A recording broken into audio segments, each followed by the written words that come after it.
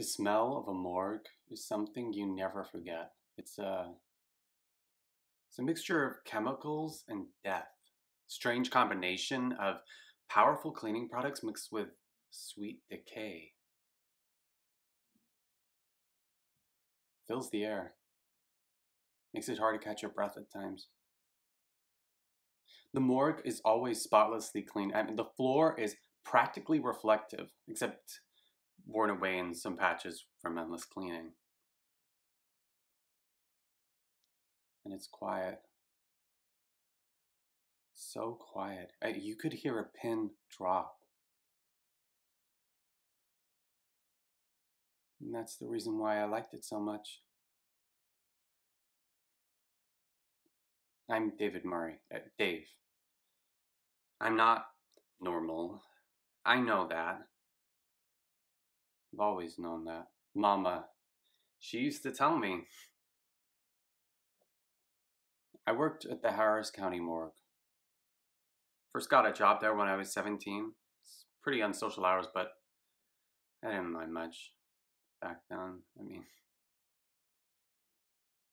other kids, they were not too friendly to me. You know, in gym class, I take my pants off and they would comment and, and look, cover their nose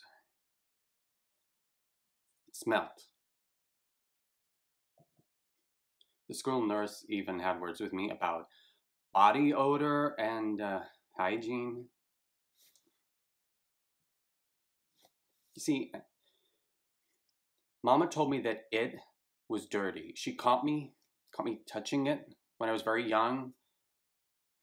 Papa, he, he'd shown me how. Mama said, you mustn't do that. It's a very bad thing. Don't touch it. So I didn't. Not ever, not even to clean it. I didn't touch it to use the restroom. I'd go into a cubicle and, and sit down. I knew it smelled. Still, I, I couldn't touch it. I, I couldn't clean it. I used to pretend that it wasn't there, that it wasn't even a part of me. That's why I like the morgue. And it's there where I could be alone and it was quiet and there was no name calling. I like it. To start with, they had me just cleaning up and filing papers, but pretty soon they had me cleaning and preparing the bodies.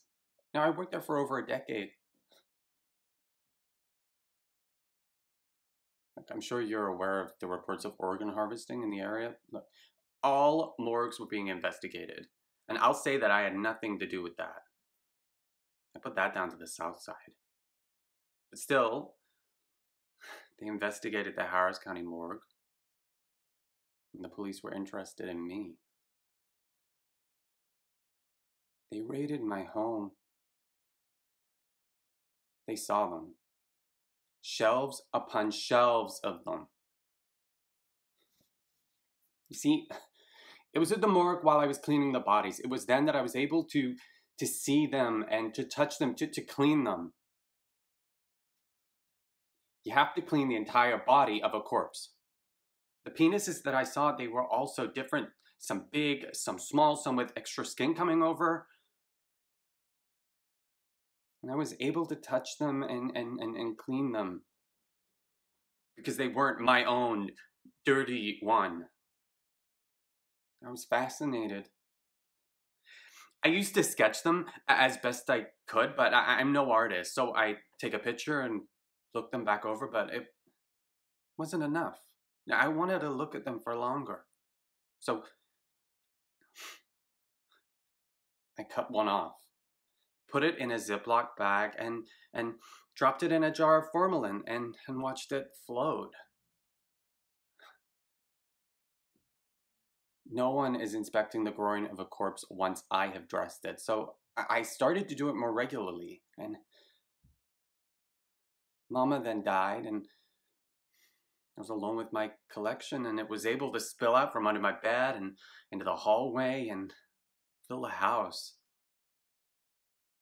She was gone It was sad, but it was strange. She was gone, so I was finally able to clean it like I did with the ones in the morgue and, and, and touch it like Papa showed me.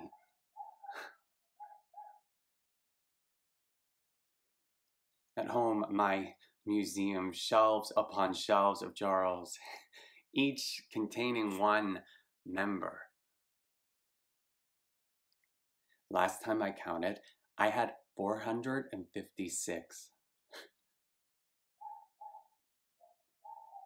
I repeat that I had nothing to do with the organ harvesting, except I was arrested, I was investigated, I was taken for psychiatric evaluation.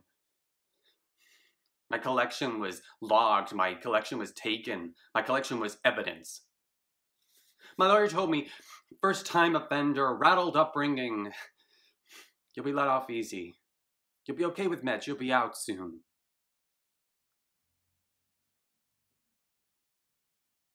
Got six months to go. You know what? I really do miss the morgue. I really do miss the walk. I really do miss the walk. I really do miss the walk. I really do miss the walk. I really do miss the walk. I really do miss the walk. I really do miss the walk.